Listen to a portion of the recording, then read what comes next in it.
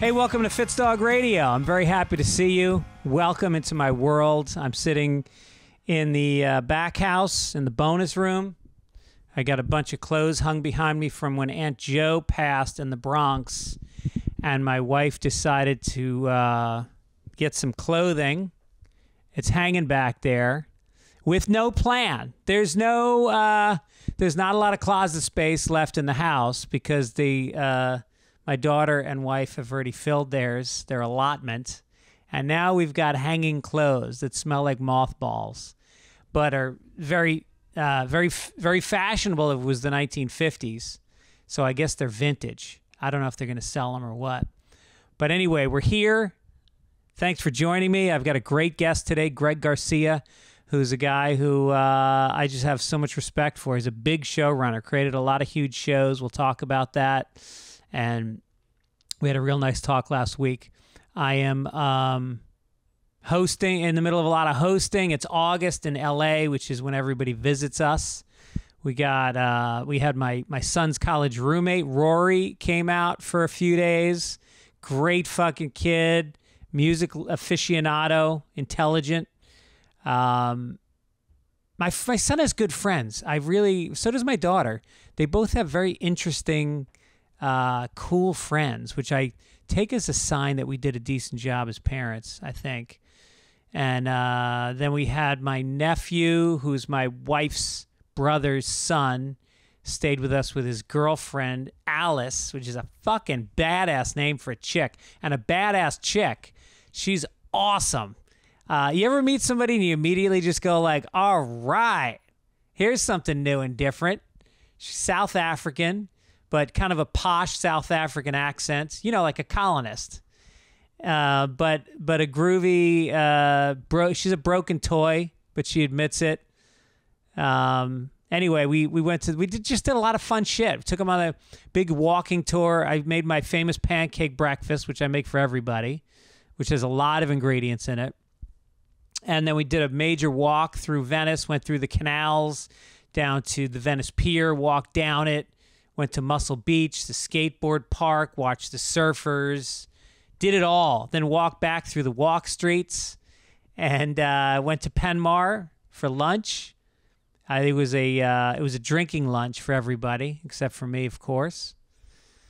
And then his brother Rowan showed up with his very cool girlfriend uh, a couple days later, and we all went to the beach, threw a football, threw a frisbee, boogie boarded, um, it's just great. I, I, we love having people. And then uh, tomorrow, my mother comes in.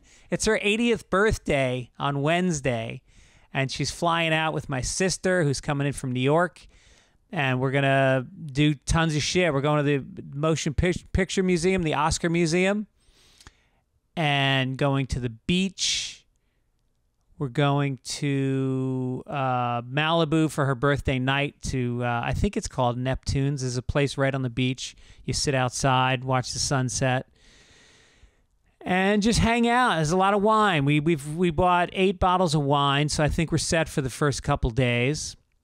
My mom likes to drink red wine, and you can tell when she's had enough. There's a color coding system with her teeth where they turn a darker shade of red by by the glass. And when they turn purple, it's time to take mom's wine glass away and send her to bed, where she has to listen to books on tape at a very high volume. So it's going to be interesting. She had a she had a major heart surgery the uh, almost a year ago, and she's been very slow coming back from it. So we're not going to be able to do as much walking as normal. I made a I made a tea time at a golf course. Uh, I made sure they had a cart for her. She's going to play as much as she can. Oh, I got to find some more women's clubs. Damn it. Um, what else? Oh, and then we also had a visit last night. We went out to dinner with Kevin Meaney's daughter and his ex-wife Marianne, Kate Meaney, who's wonderful, and my daughter's going to go to the uh, Hilt to the um, Beverly Hilton tomorrow, and go to the pool with Kate, who's a waitress at the comic strip in New York and is possibly starting a comedy career herself. She's very funny. So we'll see how that goes.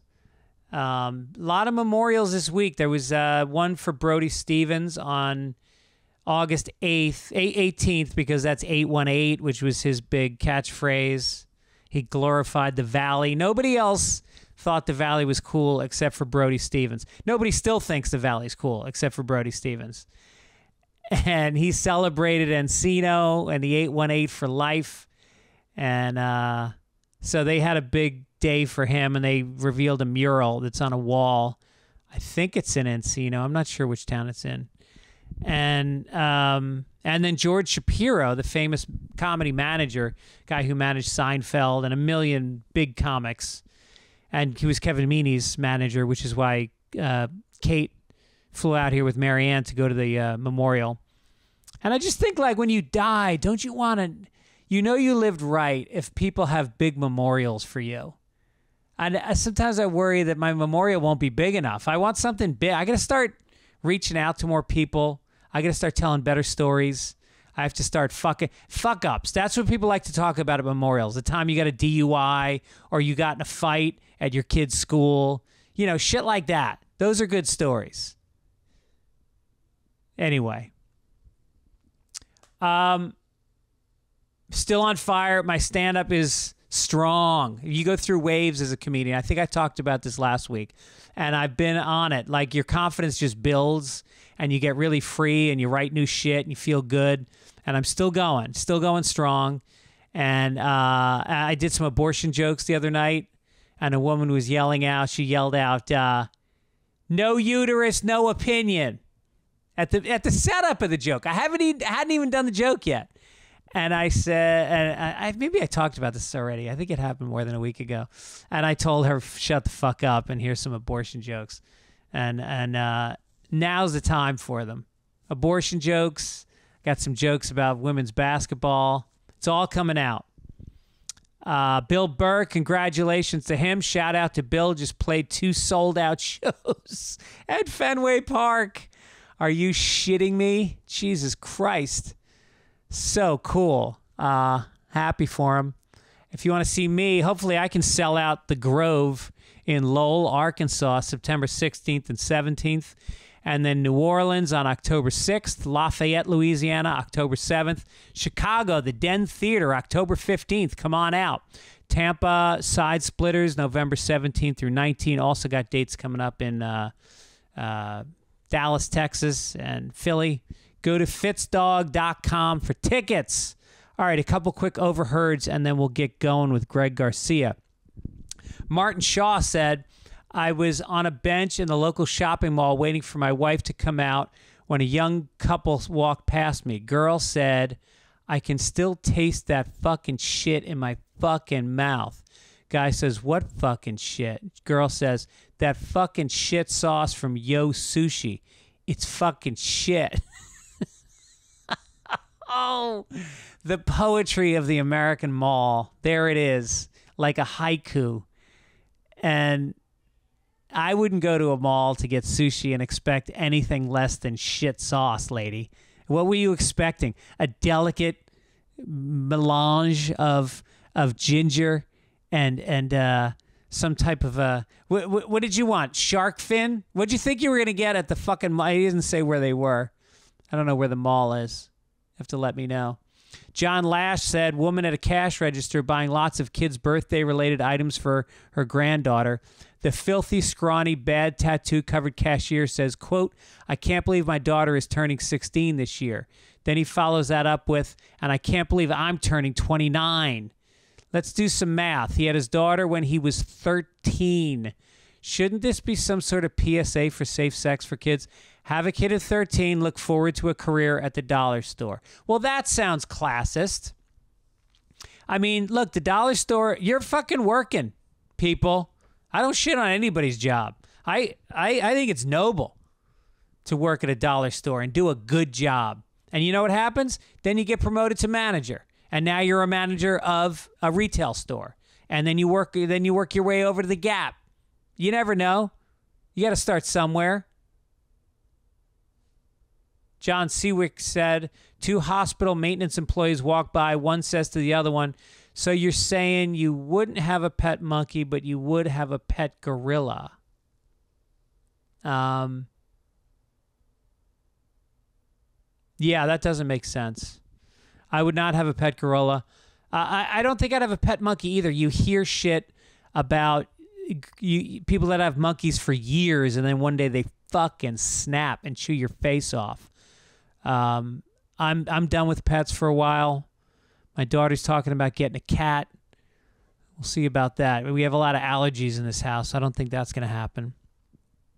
And finally, this isn't overheard that my guest Greg Garcia sent me he sent me an email after our podcast saying that he's been sitting on this overheard for years. He always meant to send it to me and here it is. And you'll notice a difference in in uh, the level of overheard when you hear his.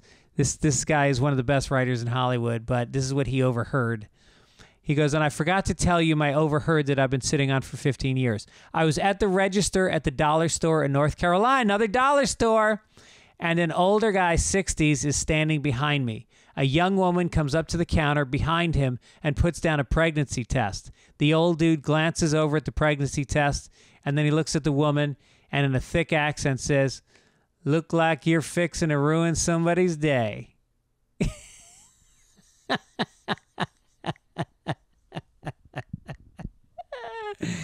Oh, I could say the same thing about a morning after pill. That would definitely ruin somebody's day for life. See, back with the abortion jokes. I can't stop. All right, listen. So my guest, Greg Garcia, is an amazing guy. He is the creator, executive producer of Yes Dear with Anthony Clark and Mike O'Malley. Uh, my name is Earl. Uh, the guest book, Raising Hope, which was a great fucking show, should have been on longer. Uh, he also worked on Family Guy, and he, he's done a ton of shit. And he's got a new show we're going to talk about, which is fantastic. And uh, and here he is, the great Greg Garcia.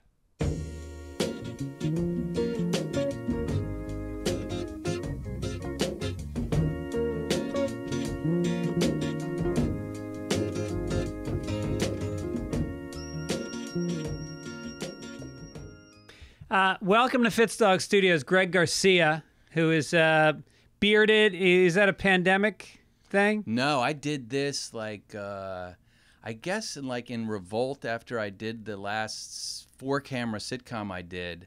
I just wanted to change everything after Yeah. that point, and I grew the beard. I think in defiance, and I've kept it. And my wife hates it. Of course she hates it. Yeah. I, I, who, I, who wants to kiss somebody with fucking hair all over their face? Not my wife. I'll Yeah. tell you that. But I got into the point where if I grow it enough so it's super unruly, Yeah. then when I get it back to this point, she's fooled now into thinking that this is like coiffed and trimmed and everything. But you know, I, she's not going anywhere. You know, it's been 25 years. you Where's guys she were going? college sweethearts. Yeah, yeah. Well, it's funny. We knew each other in college. I actually dated her friend in college. Okay. And then, uh, and then after college, I got all drunk and I drove through my college town on my way to L.A. Told everybody I loved her. Ended up like waking up in a garage, and then like the, then we went to lunch, and she had a boyfriend, but Yeah. like I like kept it going, and then somehow kept it kept it going. People funny. They're like they look at each other, they look at us together, and like my wife is very attractive, and and they're like, oh wait a second, you guys met in college, so you didn't marry Greg for money? And she's like, nope. She goes, I stayed for the money.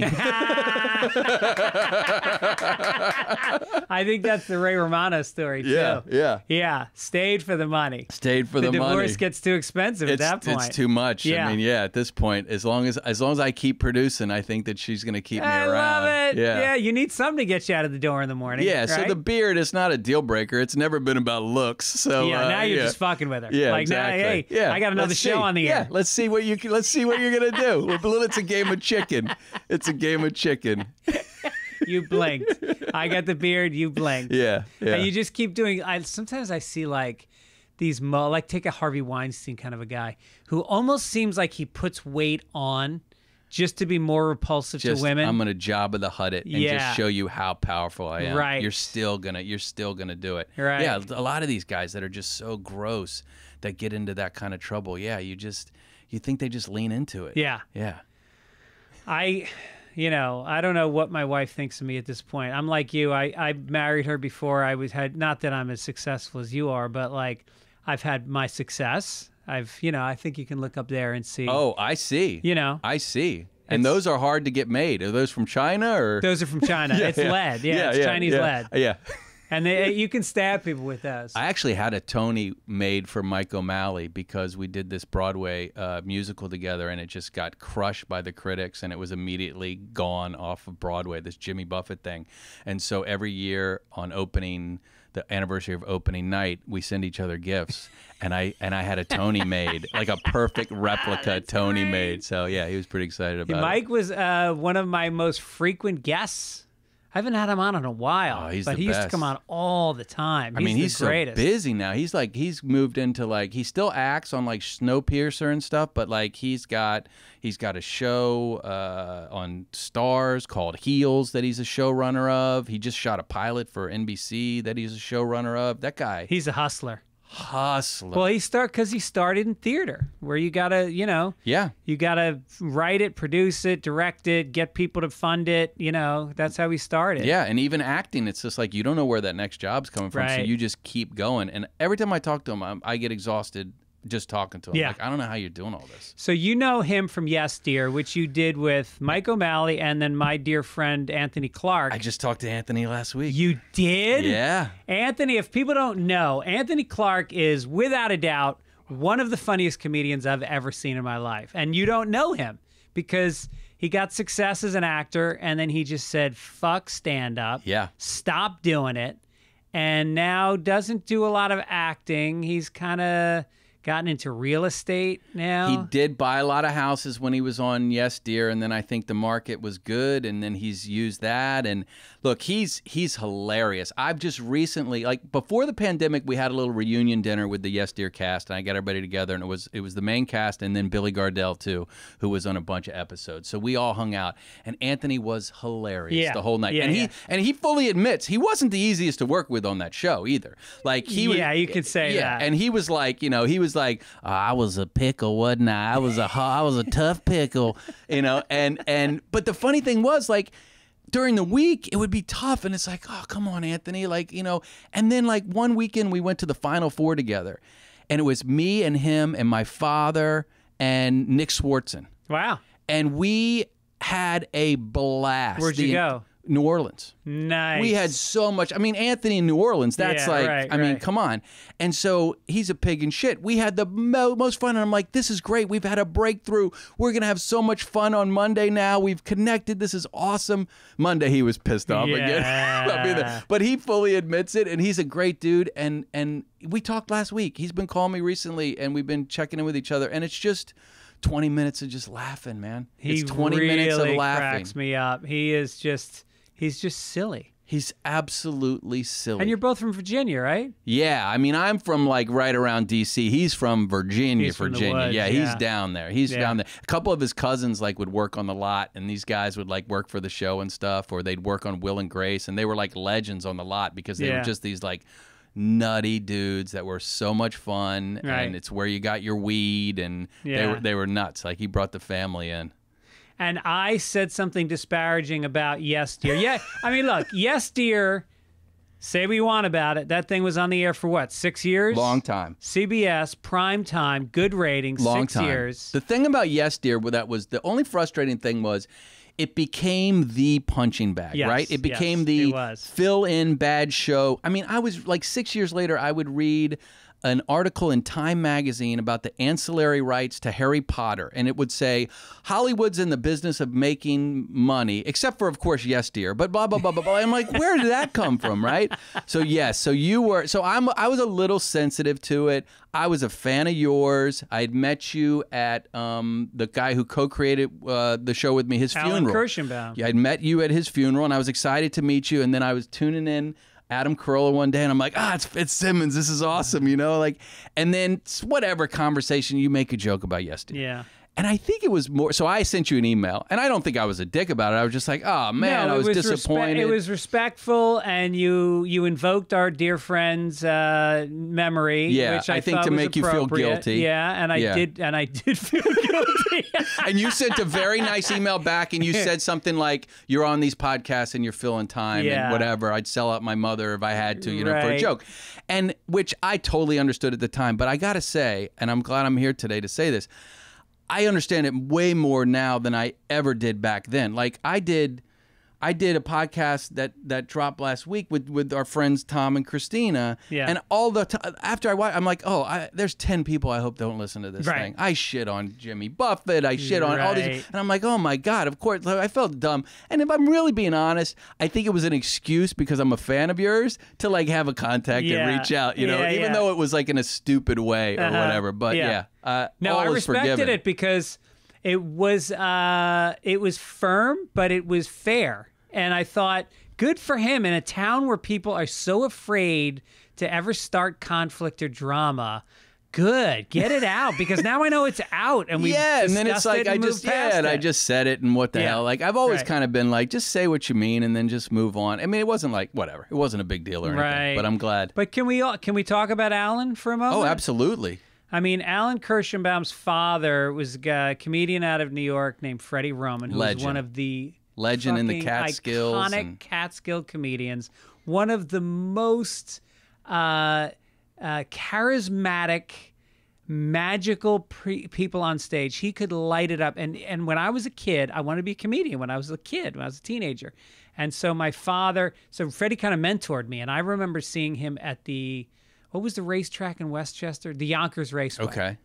So I went to the Yonkers Raceway during the day, and Freddie was standing on the fucking track with a microphone while there were about 80 people spread out all over the stands. Yeah. And and even at 14, I go, this is not good. Yeah. So he walks up to the microphone, and um, and he's got a he's got a fucking tuxedo on. It's July, and he's outside during the day with a tuxedo. And he walks up to the mic and he goes, "All right, come on, folks, we're gonna do a comedy show. Everybody, bring it in tight. Let's pretend we're family."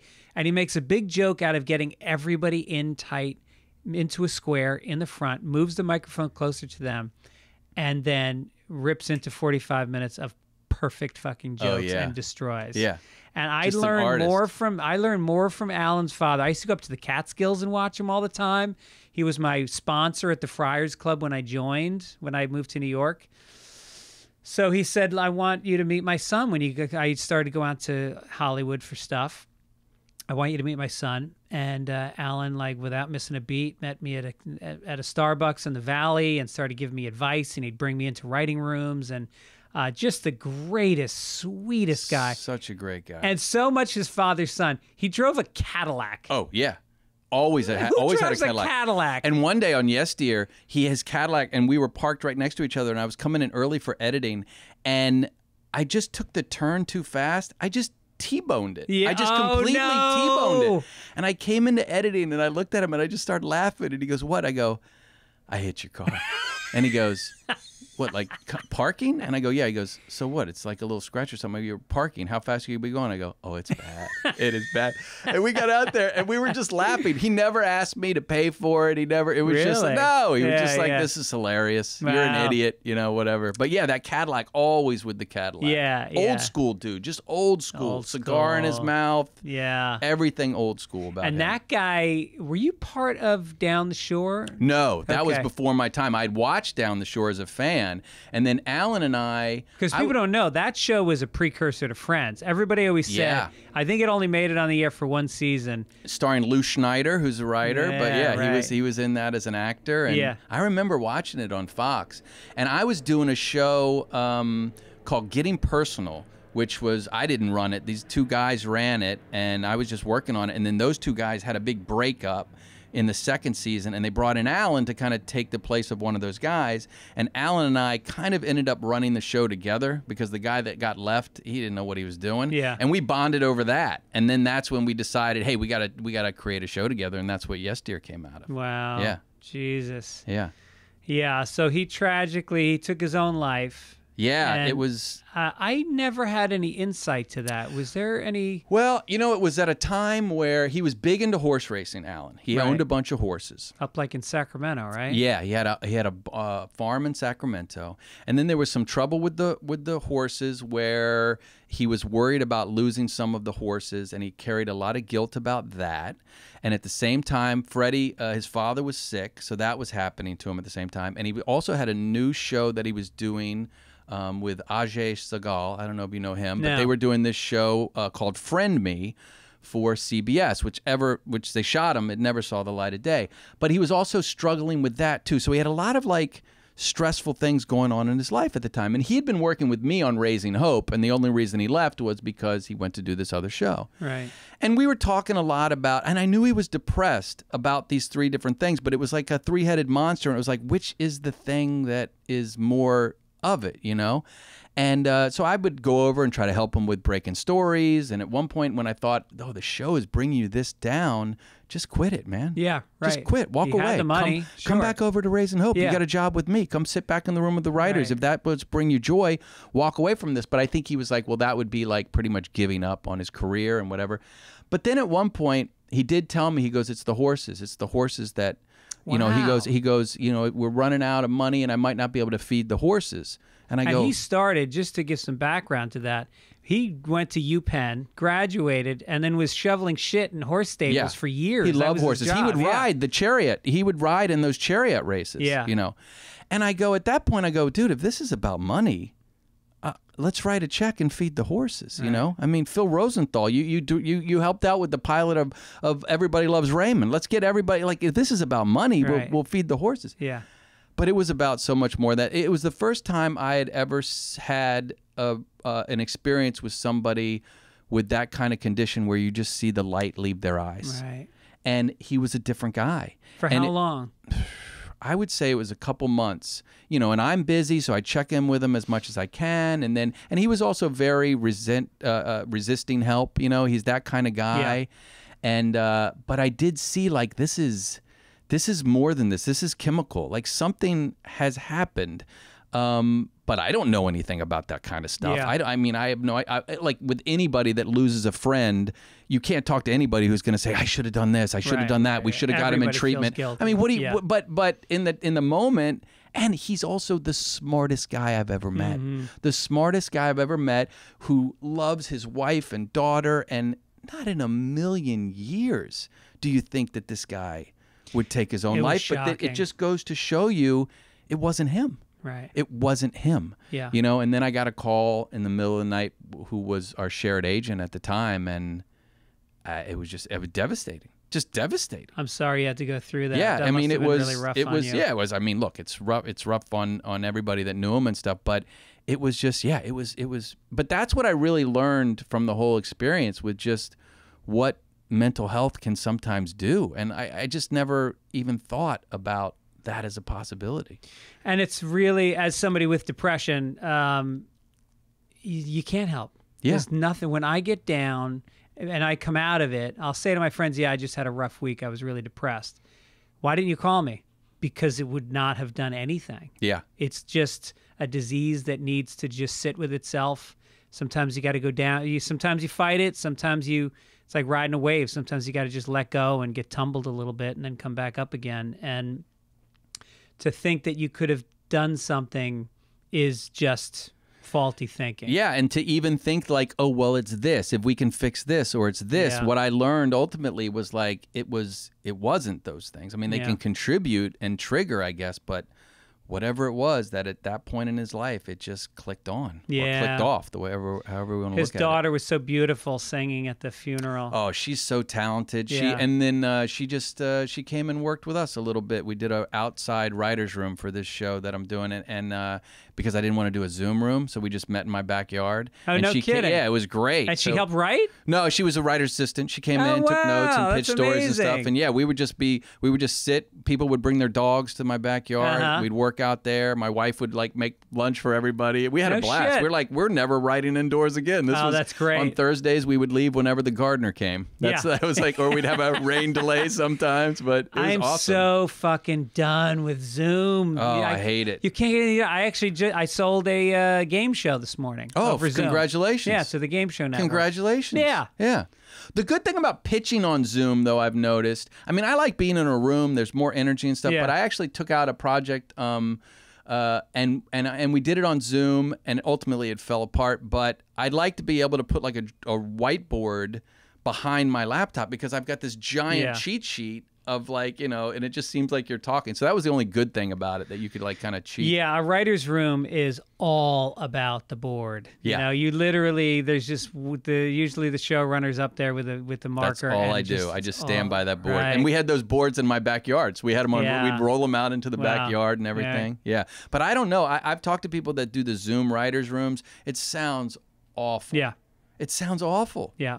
And you don't get the fun. Like part of the fun of writers' room is the bullshitting. Is the, Yeah. okay, all right, let's get to work now. But 20 minutes of just bullshitting. You're not doing that on Zoom. Yeah. It's like, we're here, let's work. Right. Right. Oh, I, I don't, I hope I never have to do it. Yeah. So the the show that uh, that I just saw, Sprung. Yeah.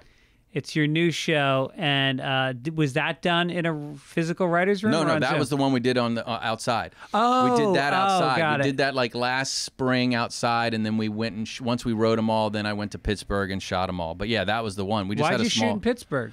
well, I wanted to shoot in Frostburg, Maryland, where I went to college, because I kind of wanted to get a little money into that community, and I liked the look of Oh, that's it nice. and everything. The problem was to shoot outside of a major city. It must have added like four or five million dollars Yeah. especially during COVID because you have to house everybody. Yeah. And even the carpenters have to be in the union. So you can't even hire local people.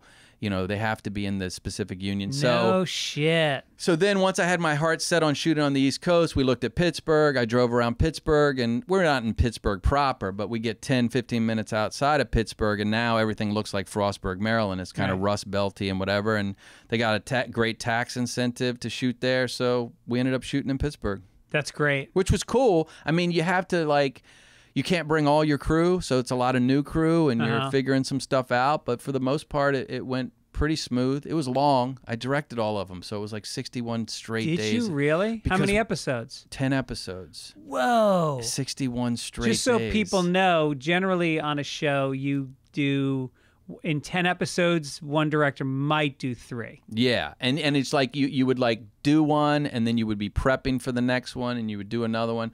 But because we shot this like a movie and cross-boarded it, we could be shooting episodes 10, 3, 5, and 1 Oh, all I in see. one day. I can't just have a bench of directors waiting to like tag in and out. Right. So I I just that's I kind of So had you to were do the them all. showrunner and the director, Yeah, and I wrote them all. and you wrote them all. Yeah, but I had a staff that kind of helped out with the Wow. right. You know how that works with the, you know, we, we we would all break a story together in my backyard, and then I would go away for a week and write the script, and then we'd come back and kind of like you know punch it up and work on it together. But there's something about um, because I got on the channel. I wanted to s- experience the channel that you're on, just Amazon so I could. Freevee. Yeah. Amazon Freevee, just because you know some people. Sometimes I have somebody on sometimes, and they have a show, and it's on BET Plus or something, and I always make the effort to go. All right, how difficult is this Yeah. to do? Yeah. Freevee, it takes about three seconds. You It's click not hard one at all. thing, it downloads, and you get access to. I watched the first episode of All in the Family today. Yeah, they've got all kinds of Yeah, stuff on there. great. Look, the thing is, is there's commercials, but you know, some people hate commercials. Some people are fine with it. Even like Hulu now, I think I have Hulu with commercials, and at least with Freevee, they are making an effort to have it be less commercials. Right. It's not going to be the same. No, there was- flow from Progressive saying the same commercial ten times yeah, in a row. I think there was two breaks and it was one commercial each. Yeah. But but um, I think the reason I bring it up is that, uh, watching All in the Family, and you realize like with a skeleton crew, with less cooks in the kitchen, you get a product. All in the Family, I fucking laughed out Oh. loud five times during the first episode of All in the Family. It's great. It was a play. yeah, It was a fucking simply shot.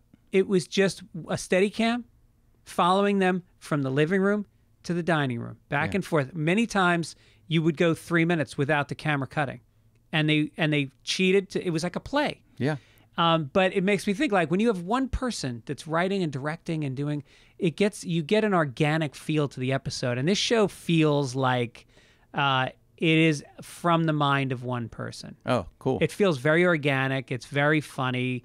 Um, holy shit, Martha Plimpton. oh my god. Are you fucking kidding and me? she she she wasn't the original person in that role. Oh no we, kidding. We cast Illeana Douglas because Martha wasn't available. She was on this HBO show. oh. And we cast Illeana Douglas, and three days in, I realized we needed to make a change. okay. And so Garrett Dillahunt, the uh, lead of the show, who was on Raising Hope with Martha, I went to his trailer and I go, "Should we call Martha?" And he goes, "Absolutely." And so we called her. She was in London, and I said, uh, "We can work all this out and get you out of your HBO deal, which looked like we could at that point because the show had aired and it probably wasn't coming back."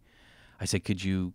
Be in Pittsburgh in three days and shoot. She's like, yeah, let's make it happen. That's amazing. And then the day before she flew in, she was getting on the plane and she was like, uh, "All right, I got the scripts." I thought she'd read them already. She's like, "I got the scripts. Who am I playing? I'll read them on the plane." she said yes, sight unseen. Oh yeah, just because it was you. Yeah, because we we still remain friends and and everything. And she was just like, "No." I'm, I'm, and she'd already been like emailing me like, "Fuck you! You guys are doing a show without me. Fuck you! I'm so Uh-huh. mad." I'm like, "You're not Yeah, yeah, available," yeah. but she was Right, like joking right. and everything. So, no, it was great. And then she came in and just crushed But she, it. but the thing is, is like, it's it's you know, um, hillbillies, it's rednecks, whatever you want to call them. But Yeah. she doesn't overplay it. There's a real human being underneath who happens to have a lot of characteristics of somebody that might you know live in in that world. Yeah, exactly. You know, and it's like it's not like the South. It's funny because my shows, like, I always like like to see how people like define the people on my shows. Because like on My Yeah. Name Is Earl, people said these people are rednecks. I'm like, no, they're not rednecks. They don't drive around with rebel flags and hunt Right. and all this stuff. They're white trash. Yeah, yeah. But they're not rednecks. And then when I did Raising Hope, people are like they're white trash. I'm like, no, they have jobs. They're just poor, you know, whatever. Yeah. But it's funny, like, uh, and so yeah, I would say, well, these are these are straight up criminals.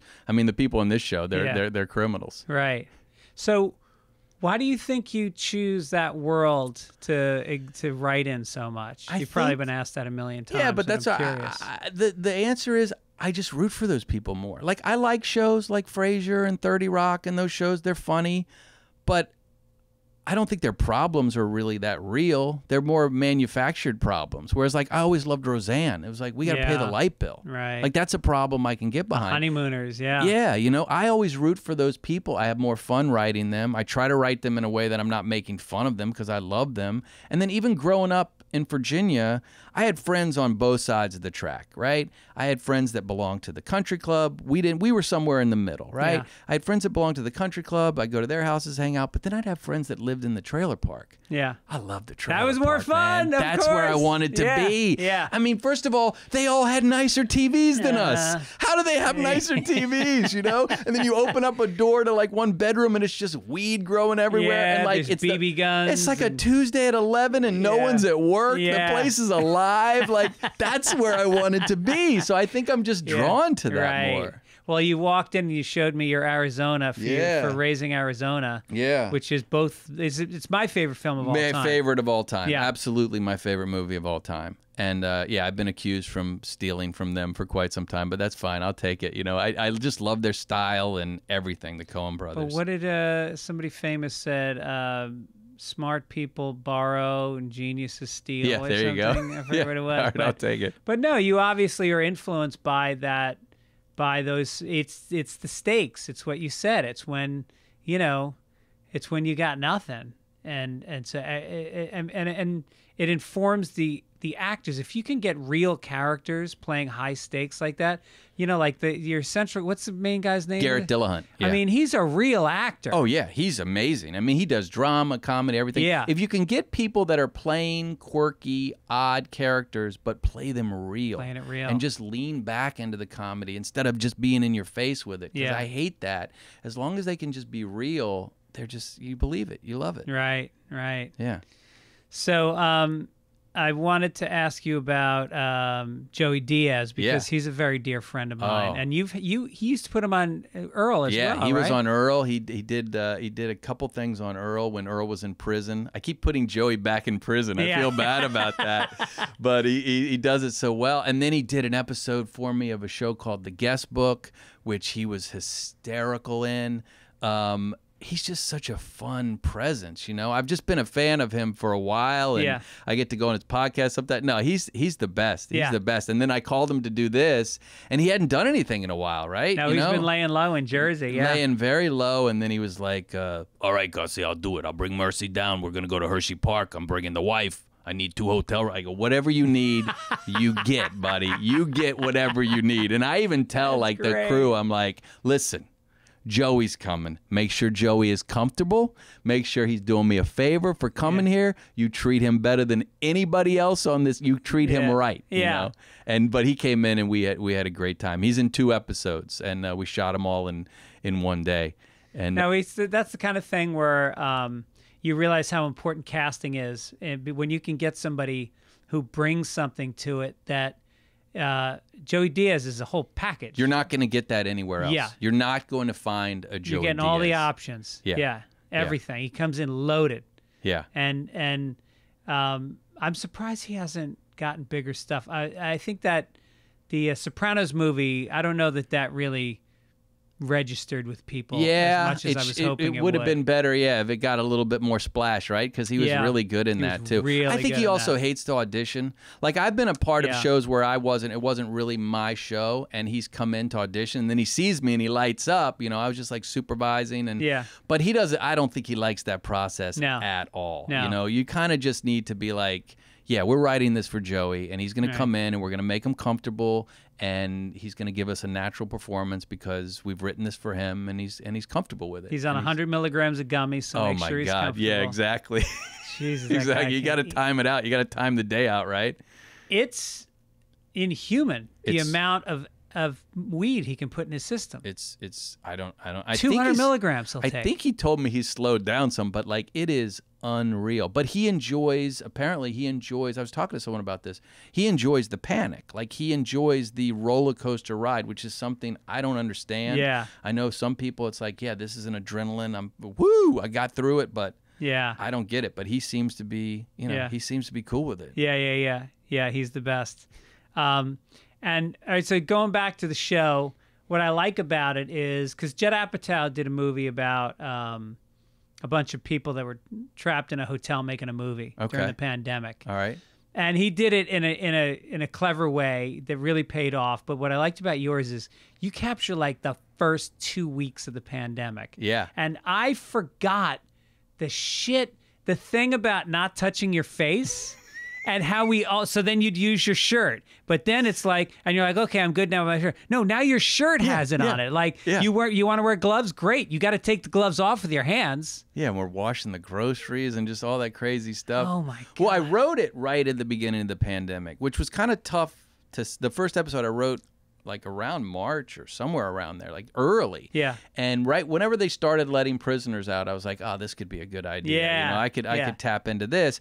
And so a lot of the stuff was kind of fresh in my mind, but also kind of by design, we set it in those first few weeks because you can have a little fun with how naive we were, right? Because it's it's a serious subject. I mean, I know people that have died from this thing. Sure. I don't want to make Right, light right, of a right. pandemic just for my own comedy. But when you can look back and go, okay, it was the early time. People, do we wear masks? Do we not wear masks? People are using different things for masks because they can't get masks. The party hat. Yeah, the party hat. I think we have someone in a scuba thing in Yeah, the yeah. background at one point that they're wearing, like a snorkel. Yeah. Uh, so yeah, so that was kind of by design because he didn't want it to like push into like just the dog days of just like, oh god, this sucks, you know, whatever.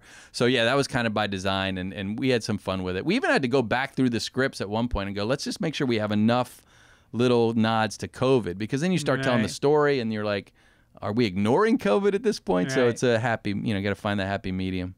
I can't wait to see more episodes. It's uh, it, when does it premiere? Uh, Friday, uh, uh, August nineteenth. August. 19th. So yeah, it'll be it'll be out August nineteenth, and they're going to do two episodes a week for five weeks. That's Okay. how they're that's how they're releasing it. right. Yeah. And then what are you doing now? So you wait to see how that goes. You wait to see how it goes. I mean, it. Yeah, I'm just relaxing, man. I know? love your life, man, because you started young. You worked your ass off during a writer's strike. We had a writer's strike in '89. No, what? what 2007, was the one I was involved in. Yeah. And I read on Wikipedia that you were working at a Burger King I did. Yeah. as, a, as a janitor? Yeah. Well, I was a cashier slash janitor. Yeah, yeah, yeah. Wow. I was running Earl at the time. It was I was running my name as Earl, and then the pandemic. Well, it was because like years ago, I was at a Roy Rogers. You remember those fast food places, Roy course. Rogers? They're not a lot of around anymore, and it's my favorite favorite fast food place, um, other than Burger King. They King. had the roast beef. Yeah. They had the roast beef. They had like the fries that would come in like a holster. You could put it on your belt. You can actually thread it through your belt and eat fries through a holster, which I do when I go. I'm like, let's get the full experience. Yeah. And I was watching the people behind the counter, and I was doing Yes Dear at the time. I was like, God, they're working so hard, and I'd have hard jobs. My, you know, I worked for my uncle's lawn business, mowing lawns. I pumped gas. You know, I had I had real hard jobs growing up, and I'm like, I wonder if I could still do it. And I thought to myself, it'd be a fun like book to write, like do a different job every 30 days and then write about it hopefully be funny about it meet the people i'm working with and then as a game show element give the person give one person that i worked with $10000 and then bolt out right so when you're reading it it'd be fun right Yeah. and then i didn't do it because i was always working and then i saw like 30 days with morgan spurlock and undercover Yeah, boss and all these that. That things was that, were kind of like Yeah. similar and i'm like but then the pandemic i mean the uh, strike hit and i'm like let me go try this. Let Yeah. me just try it just for the heck of it. So I went to a Burger King, got hired, worked there for about a month, and then at the end of it, I did give Like somebody 40 hour money. weeks? No, I couldn't. I couldn't tell my kids that dad can finally be around you, but he's going to go spend his time at Burger King. So I made up a lie to the manager. I had to explain my address, right? Because it was on my driver's license, and I live in a I live near the Kardashians. so it's like, I mean, it's like it's like you have to explain this. So I said I lived with a family and I helped take care of their kids, and so I could only work from like nine to like two while they're in school and not weekends. So that was like my lie. So that's that's that's the shift I pulled, you know. And I did that and I worked for about a month and I got to know everybody and I did end up giving somebody the money just You because did. I wanted to follow through on the whole thing. She's still a good friend of mine. She was the manager.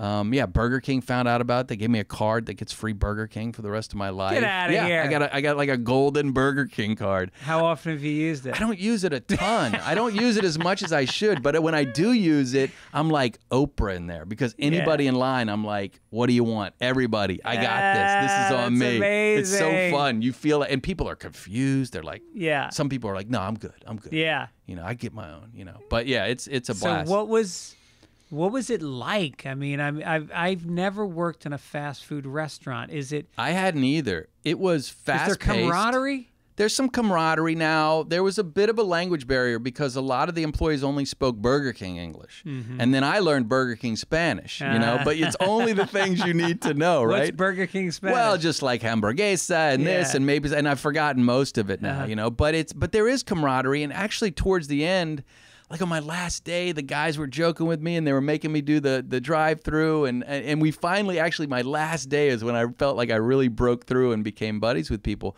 But it's hard work, you know. I mean, it's hard work. It was easy for me because it was there was no pressure Yeah. and it was the first time in my life i had a job where like i love i'll just go wipe down the tables for 20 minutes and think about nothing Mm-hmm. Yeah. and so for me where and this sounds stupid to say it was like easy and a luxury and a little bit of a you know i'm there as a goof i'm writing a book and even my manager at some point i was like uh, she goes oh i was telling so and so the other day this is after i you know much after I quit. And she goes, "Oh, and I told him, you know, Greg would be Greg wouldn't be doing that. Greg would find something to do. You got to be." And I'm like, "Don't say that. That guy has two jobs. Yeah, he has two jobs. He leaves there and he drives Domino's Pizza all Uh-huh. night. Greg was there on a goof. Greg is not to be used as a as an Greg's example." going in his pool after work. yeah, exactly. Yeah. Greg's Greg's not. Greg framed the paycheck Yeah. he didn't cash it you know so it's like so but but the hard work and the people were great and i was just amazed at how clean it was Yeah.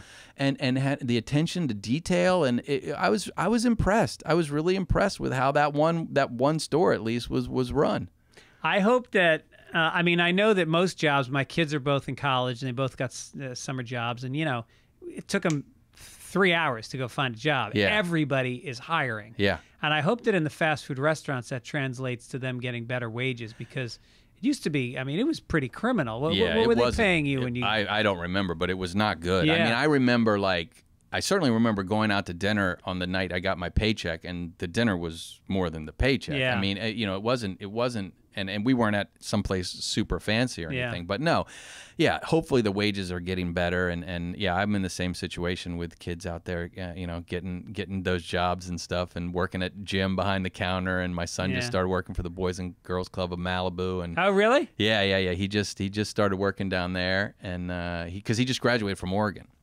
Oh, no shit. Yeah, yeah, He's a just- duck. yeah, they would just duck. won the championship. Yeah, yeah, yeah. Was yeah, he yeah. there?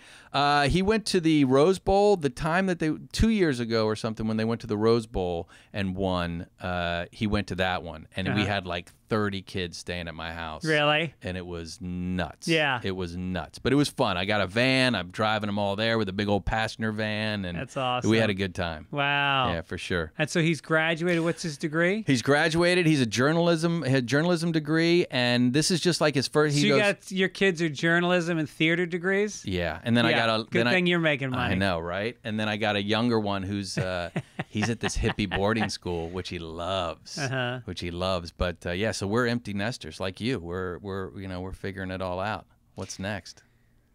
Are you traveling? You, you Doing some wife? traveling, doing some traveling, but um, but still, my my youngest son, we still go visit him a lot. You know, so he's not too far away, so we don't travel too much. But we're just starting to kick that in. It's our first year of being empty nesters, but we'll be like playing gin and eating hard candy and listening to music at like seven o'clock at night. And I'm like, I'm fine with this. I feel 80, but I'm fine with it. I'm finding that um, I smoked more pot. My wife drinks more since we've been empty empty Yeah, nesters. that can happen for Yeah. sure. That can happen for Yeah. sure. And you know, but we're trying to stay busy, and you know, we find little activities to do, and especially now while I have some downtime, it's great. But they're all here for the summer now. They're all here. Do you can you enjoy watching TV, or do you find as somebody who creates it that you're deconstructing it and not? I love watching TV. I don't watch a ton of comedies because those I think I will deconstruct more. And but I mean the upper echelon of comedies like the uh, Barry and Vice. Curb Your Enthusiasm,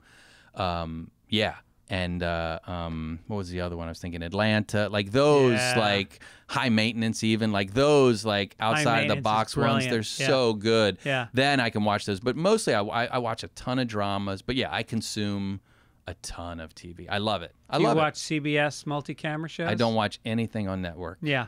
I, the only thing I watch on network is Survivor because we've watched Survivor as a family our whole lives, and my littlest one is obsessed with it. And then I end up hiring a guy that won it to put on a show, and that turned into like.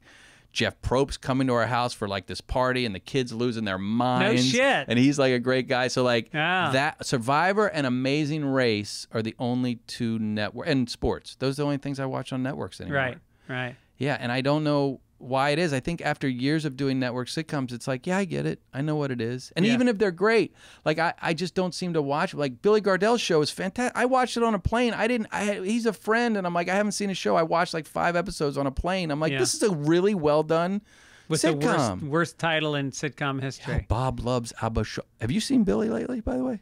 No, has he lost weight? Oh, buddy, he's lost weight. No shit. It's unbelievable. wow. It's unbelievable. Yeah, I'll show you a picture. well, I always thought of him as like a Jackie Gleason or a Kevin James. Like even when they're fat, they still seem athletic and kind of agile. Yeah, right. They really wear it. They really wear it well. But, uh, but I mean, I'm sure people that watch his show will see that this transformation that he's made. And Jackie Gleason's a perfect example too, because not only does he do a great Jackie Gleason, but like, you see his presence on stage. He just Yeah. murders. Yeah, he just murders. It's He just does. this force. That voice comes out of that body. Is he still doing stand up? I I don't think he's doing a lot of stand up Mm. these days. No, I think he's kind of really slowing down. He told me he goes Garcia. He goes once this show's over, I'm getting a, I'm getting a, uh, I'm taking my cell phone, I'm throwing it in the ocean, and I'm getting a phone with a 15 foot cord. That's it. you know, he says I'm, I'm out, I'm out. So I think he's looking forward to retiring. Well, he's got retirement money now. He does now, Holy buddy. sh- What do you Oh, think boy. that guy makes an episode? Oh, I don't know. I it's got it. You know, it, it depends on the stuff, but like you know, you're you're probably making a couple hundred grand an couple episode. hundred I grand mean, episode times 22 and it's episodes. a multicam. You come in there, you work four days a week, Yep. half a day. Yep. For actors, it's the most amazing thing whatsoever. And you are pampered. You've got Oh. a staff of writers trying to make everything you say funny. Yeah, the writers, we're there all night. We're Yeah. Mm-hmm. doing rewrites after every run through. We're getting notes, and they're walking out of there at two o'clock on a Wednesday Yeah. going, All right, send me the script, suckers. Yeah. Yeah, the last sitcom I did, it was it was a great cast, and it was Will Arnett and Sean Hayes and JB Smoove and Oh, uh, the Millers. it Yeah, yeah, I like The Millers. I yeah, know that it, was it- you. It, it only was great. lasted like a season and Yeah. a half, but but man, just the smile on Will Arnett's face, Yeah. I'm just like, this is amazing. Right, He's right, just right. loving the schedule. Yeah, So yeah, that's yeah. the gig. You can But- get it as an actor. but do you prefer uh, multi-camera as a writer? Uh, no, I vastly prefer single camera. you think you're done with multi-camera? Uh, you know, look, I mean, if the right thing comes along, like you said, All in the Family was amazing, you know, Yeah. and I think Jerrod Carmichael did a good job with his multi-camera to get Right. some of that same feel to it as well. If the right thing came along, I'll never say never, but I really do enjoy single camera. I enjoy the writing process better because you write it, you're happy with it, you get a few notes, you do a table read, and that's it. Yeah. You're not doing run throughs all week long. You're not changing things dramatically all week long. It's it's it's a hassle. Right. That's a pain. And then also just I've really started to enjoy directing and the visual sense of everything and and I and I'd have a hard time going back to just filming a play because I'd feel like oh, I want to be doing more with the camera. I want to. So right now, I think single camera is my thing, but you know, you never know. It's still a very viable, you know, uh, art form that Sure. you know, and it's ch- way cheaper to Yeah. make for the studio. And it's also as a writer, it's so much fun to fly in alt lines. That is fun. I mean. I mean, and the night, and then you have an audience because Yeah. you never have an audience with Right. the, with the, with a single camera. So you're just like, hopefully, people will laugh at this. Yeah. You know, you can't even laugh out loud during the takes. People have to stifle their laughter. Whereas like sitcoms, you know. And the last, the other thing too is like, I did the Millers, and even though it didn't last for more than a season and a half, this cast was amazing. Jimmy Burrows was the director for all of them, so I got to work with Jimmy. That's amazing. So it's like maybe I just finish, you know, not, not most people wouldn't consider it on top, but I would consider it on top considering who I worked with. Now, Jim Burrows, who is without doubt the most successful TV director in history, uh, Yeah. what is it working with him that sets him apart? Like, what did you learn from him? Well, I mean, look, just obviously there's the wisdom and the talent and the experience that nobody else has. He's been in every situation at any time. I mean, time. Taxi oh, and Cheers. yeah, He started on the Mary Tyler Moore show. Right. He's directed every pilot that's gone into syndication and made a ton of money that there is, right? And by the way, I, I- I'm talking a lot about finances on this show, but I think it's you know you're we're both you know uh, have kind of access to this information. Yeah. I think it's interesting information. Um, a director who directs a pilot for a TV series never has to work a day again for that series and will get paid a Every time the episode airs, a royalty, and then on top of that, they get a piece of the show. So when it sells into syndication, they get they get a piece of that. So you're which talking, is a ton of money if it's yeah. syndicated. So you're talking about a guy who directed the pilot for Big Bang Theory, I believe, Friends, Cheers. I mean, this is what you get one of those shows, and you're set for life. Yeah. He has a piece in 20 of those shows. Right. And, and he- every season he'll direct three pilots. Yeah, because he's the man to get, and he's still doing it at Yeah. 80 years old. I think he's probably 80 years old. He's still doing it, and but to get back to your question, it's the calming force that he is. Yeah. you know, and just like he will, he he will defend you to the. ne- He's there to help the writer. Yeah. He really is, and there's no ego involved. And he said this to me, and I found out he says this to everybody when he first met me. He goes, "Look, 50% of what I say is genius. 50% of it is shit. It's your job to figure it out, baby. You know?"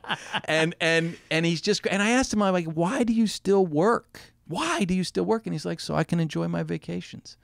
You know? Oh, interesting. A- And I think also there has to be a part of him that loves being Jimmy Burrows. If he just goes Yeah. and plays golf all the time, he's just another old white guy Right, right, hitting right. the ball around. This guy walks onto a lot.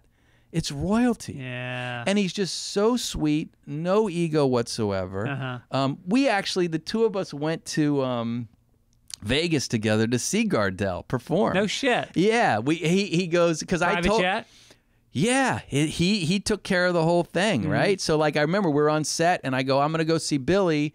uh, perform? And he goes, uh, "What weekend we'll go together?" And I'm like, "All right, sure." He goes, "Just uh, meet me at the airport." Blah blah. And we fly, and I end up playing craps with him, and just it's like this is amazing. That's amazing. The sweetest guy. Yeah. The sweetest guy. Wow. Yeah. Wow.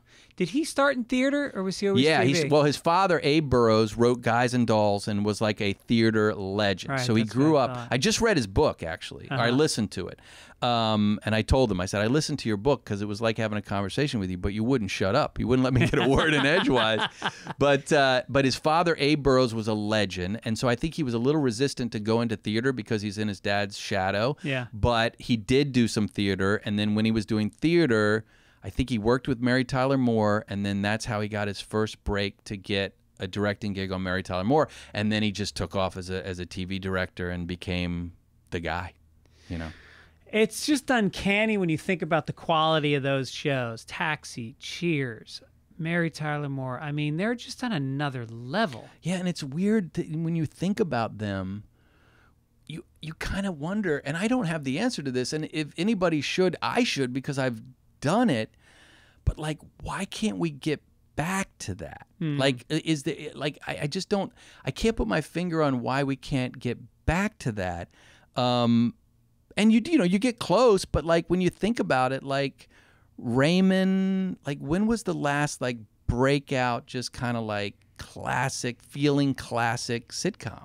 You know, and maybe just maybe because there's just so much stuff on right now that they are out there, but they're just not getting as much attention because you don't get the audience you get anymore. Right. But there is something about those old shows. there was There's such something different. Well, I think, you know, the networks are so hell bent on putting heart into sitcoms, and those shows had tremendous heart, but somehow it felt more organic. Now I feel manipulated heart when I watch Yeah. sitcoms. It doesn't feel um, because I don't. I think what they don't realize is that a character like Archie Bunker, who is just a curmudgeon and he's mean and he's racist, but there was a moment in the in the pilot where Edith says something. Edith starts to cry because of a Hallmark card that he didn't even buy for her. Yeah. Somebody else bought it, and she just read the inscription and was so moved because she hadn't gotten a card in ten years that she cried and she walked away. And there's a shot of Archie looking at her after he calling her a dingbat and a nitwit and all this. There's a shot of his face looking at her that shows that there is nothing on the planet that means more to her than her. Yeah, and than it her. humanized him. Yeah. and it gave him, and that's the thing about him. And I think some char- some people forget this when they're creating characters is to give people levels, right? Right. And and you'll get this ensemble cast of like seven people, and I'm always telling people make it four, you know, because if you get seven people, that character, that one, sixth, seventh character, all they're going to become is the same thing every time. You don't have time to get Yeah. to, to, to, to delve into them, or you're just going to be confusing audiences because you don't have time to show all the layers, right? Right. So it's like that just becomes the snarky guy. And that's Right. it. He's the snarky guy. We never learn more about him. Like Jay, I remember Jaime Pressly on My Name Is Earl. It was about four or five episodes in. I was like, okay, we need to we need to break a story where we see the heart of this woman because Mm-hmm. she's just been the mean ex-wife trying to kill him, which has been great up until Yeah. this point. But now we need we need to see her cry. We need to see what makes her human, and then we did that. And just to so to find those levels, like Archie had, Yeah. you know, I think Or is Louie De Palma had. yeah, exactly. Yeah. yeah. Is because they're surprising, and it's fun to maybe sometimes learn those things a little later on. I remember like one note. Yeah, you they got to earn. You got to earn Yeah, it. you got to earn it because sometimes you get notes from in the pilot stage from people, and they're like, "Well, where did he go to school? What does he do for a living? What does he do?" And I'm like, "That's not interesting. Like, I'm way more interesting. I'm more more interested. Like, if I'd hung out with you for like a year and a half, and then all of a sudden you tell me, "Well, you know, well, back when I was in Afghanistan, what? Yeah. You were in Afghanistan. Like, if you told me that on day one, I'd be like, okay, yeah, that's a fact about you. But now I've gotten to know you, and then there's a surprising thing about Yeah. you. I'm like leaning forward. I want to learn about it more. Do you think about that stuff when you're creating a show? Do you plant landmines down the road for characters? Sometimes, sometimes you just kind of organically find it later. You know, you're not sure. I mean, sometimes like sometimes there'll be a, like a joke in the room. On Earl, there was a character named Crabman, and somebody just pitched a joke that he says something, a throwaway. He says, "Oh, when I was in witness protection," and we thought it was funny, just like throw that little thing out there. But then it became his whole storyline for like episode season three Right, and right. four because Yeah. it's like so. Then it's just a joke that opens it up for it. Yeah. And other times you'll you'll kind of get to know the actor and you'll see what their strengths are and how they respond with other actors, and then you use that as a guide to kind of like fill them out a little bit more too. Yeah, a show is a living, breathing organism, and you have to pay attention to it and see what's see what's working and see what's growing. Yeah, and absolutely. You Yeah. can't be you can't be dug in on any one thing by by any means. You have to just let it see like where it goes.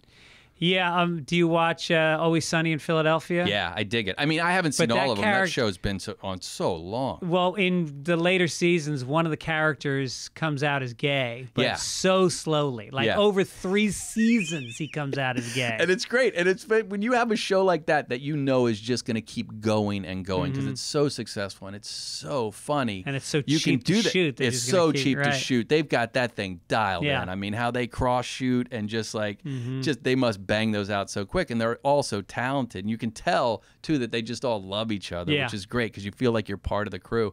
Yeah, when you have the luxury to be like, yeah, we're gonna spoon this out over three years because Yeah. we know we're gonna be picked up. That's awesome. Yeah, it's great. Um, yeah, I just played golf with uh, Charlie Daly. Oh, okay. Yeah, he's a good guy. And his phone rang, and it was one of the other stars of the show. They really are like best friends. Yeah, I had a little bit of involvement with Rob once. He called me about. That's who called him. Yeah. yeah, Rob. he called me for advice about something a while ago, and we chatted for a long, long time. And he was a super nice guy. Yeah, Yeah. I'm so happy for those guys. Yeah, yeah. To to shoot something on your own like that, on a shoestring, no budget at all, and then to go out and sell it, and it turns into this. That's every actor slash writer's dream, you right. know. And now people have even better tools to go out and shoot Sure. their own stuff and they they have places to put it i mean there was no youtube when this guys did it they just shot it in, on a vhs probably and sent it around Mm-hmm. Right, to people right. and and so what a what a dream come true you know Yeah, it's uh, it's definitely a tale of like uh, anything's possible. And they they he was even telling me when we played golf, I was like, uh, he's like, yeah, when they gave him Danny, De- the the network insisted on Danny DeVito as as they wanted a star on Yeah, the show yeah. because they weren't going to put it on the air without a star. It was black and white. You either hire him or you don't, and they fought it. They Yeah. didn't want the big name. They Yeah. wanted it to feel just like keep it small yeah, yeah. But and then he's hilarious in He's hilarious. so funny yeah, great. All right, well, listen, um, I can't I can't recommend it enough. Sprung is Oh, a thanks. it's a really uh, it's four characters, just like you said, four characters, and you get to know them. You start to see so much unfold out of each of them throughout it. There's laugh out loud scenes, and it's the it's the kind of pilot that makes you go like, oh, I need to see all these episodes. oh fantastic yeah. i'm hoping people check it out we're proud of it for sure And uh, and again, it's on Freevee. Yeah, Amazon Freevee. So yeah, you can either download the Freevee app on Roku or Apple TV or any of those things, or you can also access it through Amazon Prime uh, if you want to go that way. And um and there's an AMC Pacer in it, 1976 That's AMC mine. Pacer. Yeah, that's mine. No. Yeah, it's still back in Pittsburgh, but yeah, that's mine. And it was great because as we shot with it, it had a cracked windshield. It needed, Uh-huh. the, and so every day they'd fix it up even more and more for me. Yeah, yeah, I've got a, a AMC Pacer, a, a Ran, Ford Ranchero, and a Smokey and the Bandit Trans Am. You so, do? Yeah, Is that a 78? 77 Uh-huh. and it was signed by Bert right by the stick shift No shit. and then a fucking detailer cleaned the oh, car Oh, and no. scrubbed it Oh, off my if you can believe it and then they got in touch with Bert my agent got in touch with Bert's agent and Bert, he called Bert and told him what happened he goes oh I had such fun with Greg shooting that show I'm back in LA in October to shoot Quentin Tarantino's movie tell him to bring it I'll sign him again ah, that's three great. weeks before he gets there he dies oh no. yeah. yeah.